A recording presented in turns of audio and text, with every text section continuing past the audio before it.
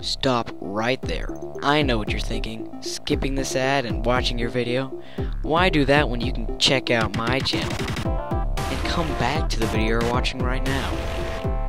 It only takes like 5 seconds and I'm pretty sure you'll enjoy my content. All I do is play video games. And I'm thinking to make some more videos right now. So, thanks for your time. And come on, check out my channel.